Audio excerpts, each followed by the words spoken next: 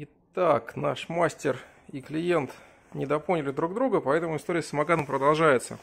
Значит, э, думали как, что вот этот провод вот сюда выходит, здесь вот висит какая-то сумочка, из нее провода подходят сюда.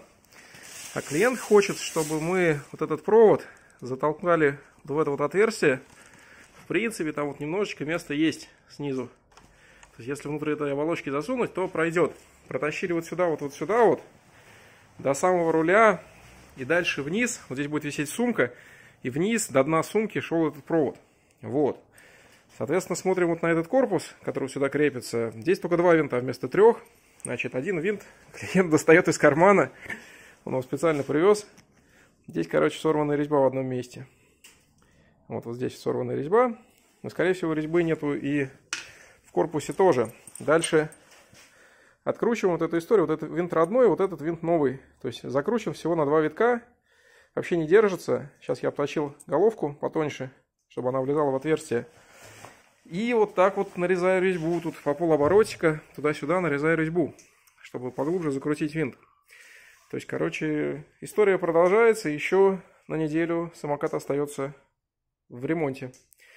Было бы здорово, если бы клиент сразу привез бы сумку, и мы могли бы сразу длину провода примерить. Но вот, к сожалению, не все сразу. Ему придется подождать, и нам придется это все переделать еще раз. Сейчас видно, как устроена дека, которая держит руль. То есть вот сквозное отверстие под провода, сквозное отверстие под а, сам руль. Вот это отверстие сквозное, и вот это отверстие сквозное. Вот эти вот а, коротенькие, буквально там по 5 миллиметров. И вот настолько длиннее мы сделали винт. Видите, да? То есть он держался буквально на паре витков. Сейчас он будет держаться хотя бы на сантиметр вглубь, потому что уже маленький у него резьбу сорвало, все нарезал, потратил время. И теперь вот мастер будет сейчас вот сюда вот засовывать провод питания. Значит, это тоже плохо.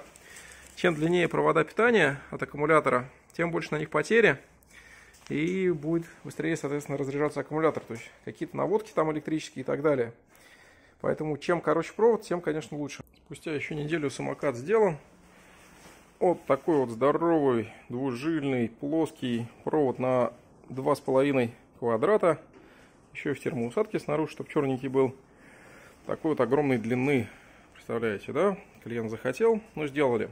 В прошлый раз я еще не сказал, что починили фару и починили гудок, который был также сломан. Все это вот убрали сюда в изоляцию. Вот здесь термоусадочка. Все, теперь наконец-то самокат готов. Но в общей сложности ушло примерно, наверное, 2,5-3 месяца на все вот эти манипуляции.